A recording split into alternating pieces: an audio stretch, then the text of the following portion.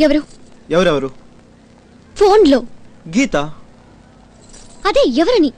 మా అమ్మ.